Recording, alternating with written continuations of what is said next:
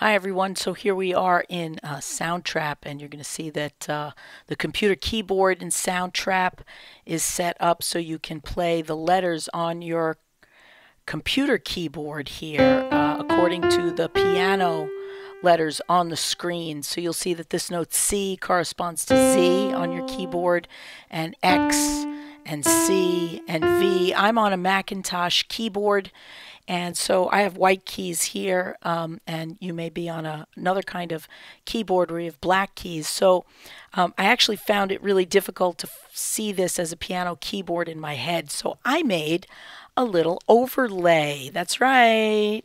There you go. I just took a piece of plastic and some uh, little sharpie here and black pen and did that.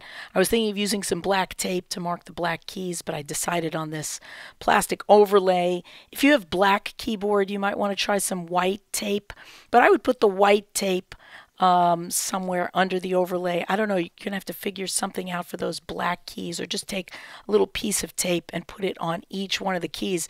The reason I like the overlay is because I can do my Soundtrap work here and be able to see, just look down at my computer keyboard and actually begin to see that this is the first octave and this is D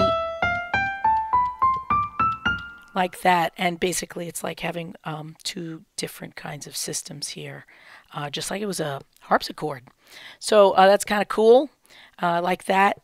Wanted to give you that little tip today and see if that's helpful to you.